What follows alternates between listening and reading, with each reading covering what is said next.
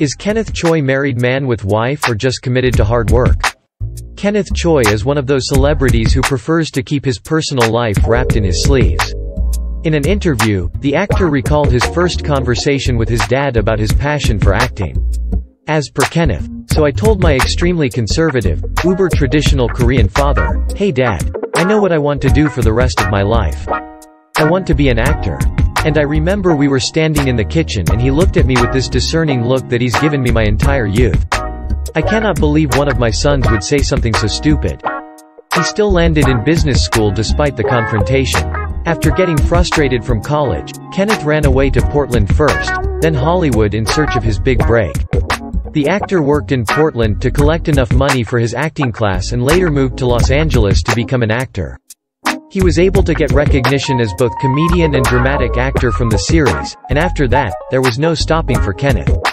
After his debut, Kenneth has been in some of the renowned series, such as Martial Law, Glee, House, Last Man Standing, Heroes, 24 and much more. Kenneth later reached out to his long-lost father after gaining fame and name he desired. As per Kenneth, when I moved to Los Angeles, I figured I'm really going to make an attempt to become a real actor. And when I did that, I thought it was time for me to face my parents and tell them what I did. He recalled the incident like it was yesterday. I didn't know what was going to happen. I thought he was going to punch me in the face because you just kind of don't do that, right? When he went to see his dad, he was already waiting for him in the room. He was five years older, and he just put his arms out, gave me a hug, which he's never done his whole life. Then he said, I respect you for this. It was the first time he said, I love you, to me, and it was the most amazing conversation I've ever had. To this day when we get off the phone, I say, I love you, in Korean and he says it back.